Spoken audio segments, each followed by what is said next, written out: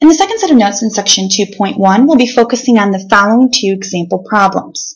For number three, we want to find the area of the rectangle. So you should be thinking back to what you've learned in the past.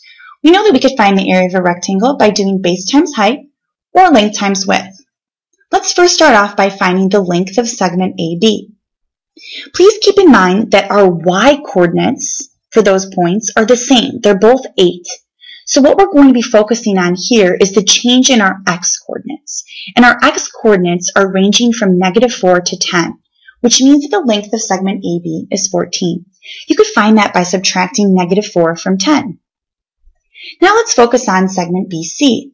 Notice that our x-coordinates are the same for those two points. They're both 10. So we're going to focus on the change in our y-coordinates here, which range from negative 2 to 8, which means that that segment has a length of 10. You could find that by subtracting negative 2 from 8. We could find the area of our rectangle by doing base times height.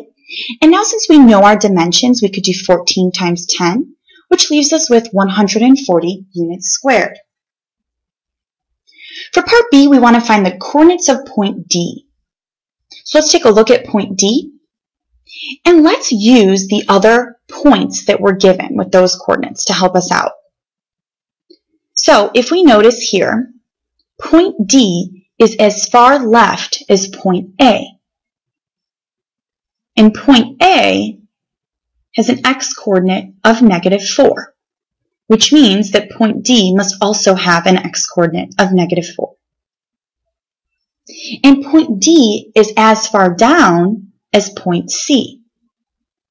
And point C is negative 2 units down, which means that it shares that y-coordinate of negative 2. So our coordinates for point D are negative 4, negative 2. Let's take a look at example 4. Example 4, we're given a lot of information here. Make sure you take the time to fill in all of this information in your diagram. You have to do this. This holds true for these types of problems as well as your proofs. You have to be marking up your diagrams with tick marks and filling in your given information. Because we're given those perpendicular segments, we should be thinking about what we learned today, which then gives us that angle BFD must be a right angle or have a measure of 90 degrees. So we can say that that angle BFC and angle CFD add up to 90. So 2x plus 3y equals 90. Since we can assume straight angles from the diagram, we know that all four of those angles must create a straight angle or add up to 180 degrees. So we can say that y plus 2x plus 3y plus 4x must equal 180. At this point, I'm going to combine some like terms.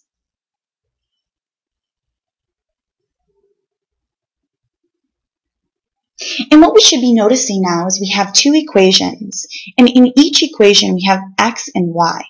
So we have to solve a system of equations now. So I'm going to use the first equation we came up with, which is 2x plus 3y equals 90.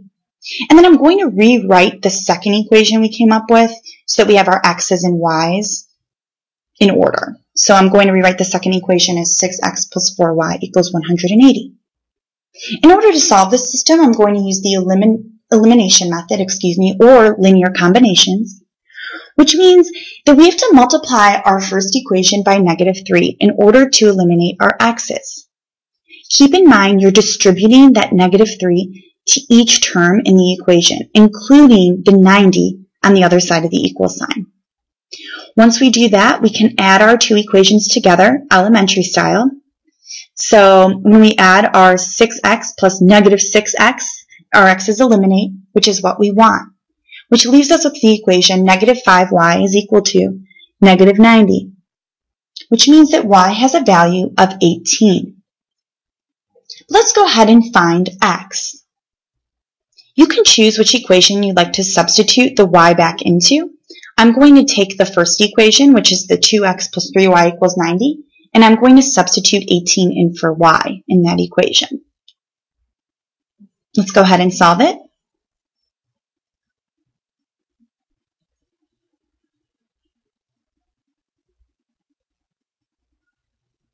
Which means that x also has a value of 18.